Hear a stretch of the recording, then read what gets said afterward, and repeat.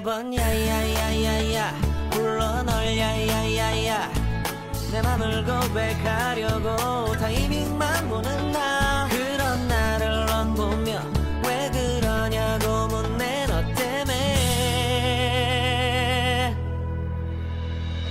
남자